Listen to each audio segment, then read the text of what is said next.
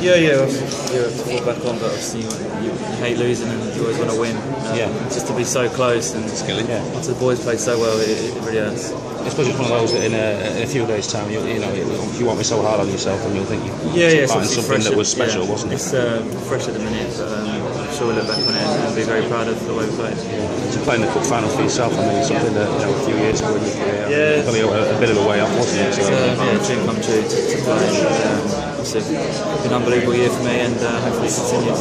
how, how, what do you think the sort of crux of the game was? I mean, some people say, say you were tuning up a little bit too early. Yeah, It was a obviously we, little we had a lot of. Uh, I think set pieces was big for us today, and it Yeah. an unbelievable start. No one um, would have dreamed of that, but um, we we're a little disappointed with, with their two set pieces. Yeah. Um, it was a goal kick, but it's the second goal um, was in the corner. But um, we're disappointed to concede these set pieces, but um, as I say, we should be very proud. That first goal was really well worked. Yeah, straight from the training ground. You know, we just said it in there that it came off a tree, and Tom's a quality player. You know, we just had to try and get him on the ball and stuff, and uh, he got good contact. And uh, James Chester had a good finish. The second goal was set piece as well. Yeah, that's it. And then we conceded two set pieces ourselves, which is the most disappointing thing, you know, because we worked on it all week.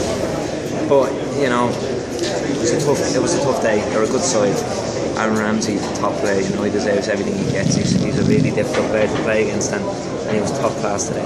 Will Hull come back stronger for this experience? Absolutely, you know, he's got a manager in charge that's that's up there with the best in my eyes. You know, it's the best I've played under. You know, he gives inspiration. He's a leader of men, and you know he'll he'll go away in the summer, regroup, and I'm sure he'll sign a few couple top class players for next season, and and we'll go again, of course. You know.